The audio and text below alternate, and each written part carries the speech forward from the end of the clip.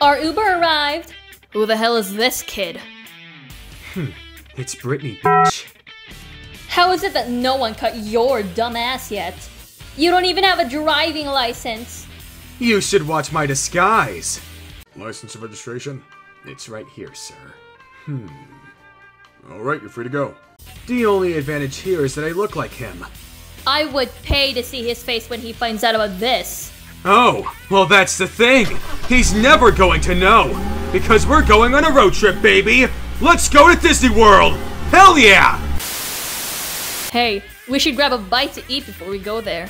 Maybe we should go to Del Taco with their free shavakadu. Make another joke like that, and I'm turning this car around.